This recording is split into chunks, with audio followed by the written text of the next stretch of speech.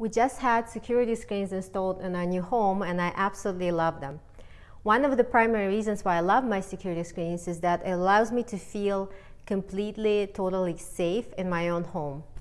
Now, I consider myself a strong woman, but if there are people breaking into the house in the middle of the night, uh, or even there's a noise downstairs, a police helicopter circling nearby, uh, that gives me a very uneasy feeling of uh, what am I gonna do if somebody does break in?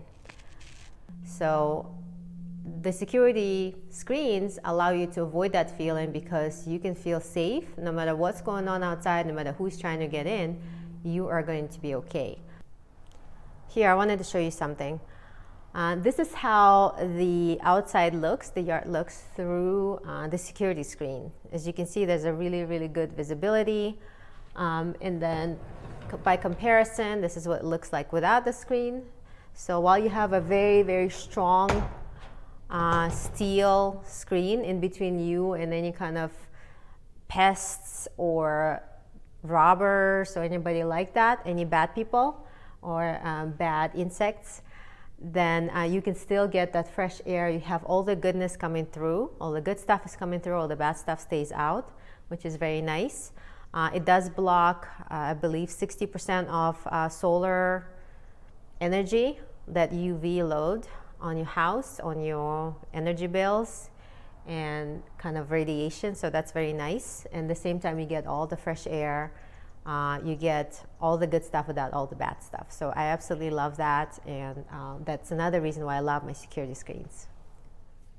One of the very logical uh, reasons why I love the security screens on our house is that the cost of these screens and actually the, the idea of why you need security screens is uh, kind of very similar to home insurance. Uh, we get, I'm from the insurance industry originally, and uh, there when you pay insurance premiums, essentially they are for a chance that in the event of something catastrophic happening, you suffer some grave damage or monetary or bodily harm, then insurance company steps in and compensates you for the damage. What I love for uh, what I love about the security screens is that they prevent the damage from happening, or at the very least, greatly minimize the risk of something bad actually happening. And uh, the cost for them is a one-time cost, and it's going to stay on for years, as opposed to insurance premiums that we pay over and over and over.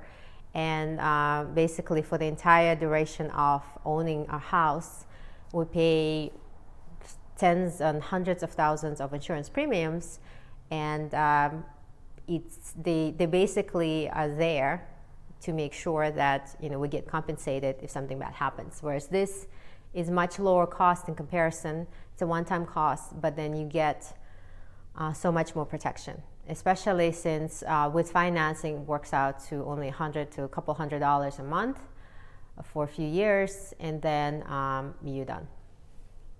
Um, nowadays with all the climate changes, with uh, political changes or instability, with societal um, anxiety, and with people uh, losing it, frankly, uh, it's really, I'd really, I really, really appreciate having some extra protection uh, for myself and my family. I don't think I ever slept this well before having security screens and I've ever felt this secure and this empowered. Uh, despite not having like uh, big old muscles or being a black belt or having weapons, I it's just not my thing. I prefer nonviolence. I prefer violence not to, to happen to me or my family. So um, this is uh, one of the best ways that I could do that is to have these security screens installed in my home.